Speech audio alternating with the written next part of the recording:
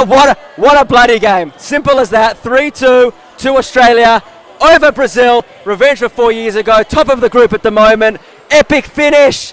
Dylan Basgard with the goal at the death. Mate, talk me through that. Oh, uh, great. I've been practicing penalties and I always go right. And this time I had to go left. It was open and the heart was racing. Jared, what about the crowd? It's a full house. I know how much Maccabi means to you. This is what Maccabi is all about. It's unbelievable. Yeah, it's amazing. Uh, every time I heard the, the crowd cheer, it just brought a smile to my face. And it, ju- it just helped us keep pushing. We were 2 1 down with seven minutes to go. Uh, and we never stopped. We never, we never believed that it wasn't over. And uh, the, the feeling when the final whistle went was unbelievable. Jade, you played a lot of futsal. You played a lot of good games. Have you played a better one? Uh, in terms of raw emotion at the end of a game, probably not. I mean, I've qualified for two World Cups, which is probably up there. But in terms of raw emotion from coming back uh, and winning the game against the team that knocked us out four years ago, it's just unbelievable. Gilly, what composure. 2 1 down, five men out, and you've got the finish there. What was that like?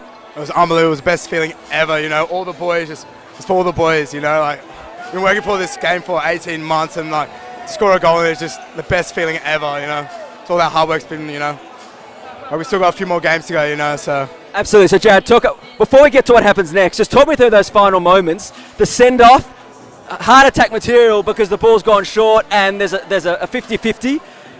Talk us through the gamble for anyone doesn't understand it when you take the goalkeeper off and you switch it up for a fifth man. Yeah, so essentially we're, we, we're trying to get an advantage by playing an extra player, um, and that's why we replace the keeper with a, a, field player for technique and to give us the advantage. Um, and with seven seconds to go, uh, and we hadn't we hadn't found a goal. Uh, it was do or die. Uh, and as soon as I saw him slide in, I was like, please give that a foul. Please just give it. Uh, and yeah, it came.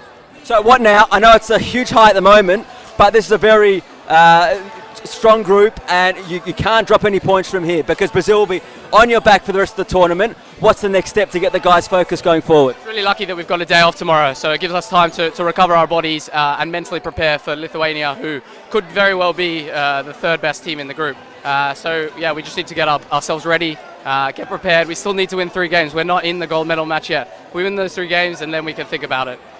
Guys, thanks for joining us. We're going to get in the sheds. I know you can't wait to go. 3 2 to Australia. Epic win. Fantastic day at Maccabiah. Thanks for joining us.